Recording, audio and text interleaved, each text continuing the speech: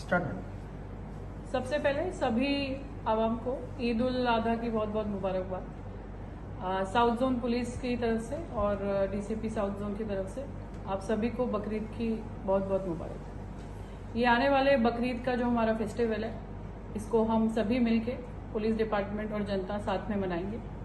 और इसमें बस आप सभी से यही गुजारिश है कि जो भी पुलिस द्वारा, सरकार द्वारा गाइडलाइंस दी गई है और जो भी जानवर की कुर्बानी अलाउ की गई है, आप उसी तरीके से जानवरों की कुर्बानी दें। और एक बार कुर्बानी देने के बाद जो भी जानवर का वेस्ट रहता है, जो भी जानवरों के एक्स्ट्रा मटेरियल जो रहता है, उसको अच्छी तरीके से जीएचएमसी द्वारा दिए गए या फिर अपने पास रहने वाले पॉलीथीन बैग्स में सही तरीके से डाल के उसको डिस्पोज किया जाए।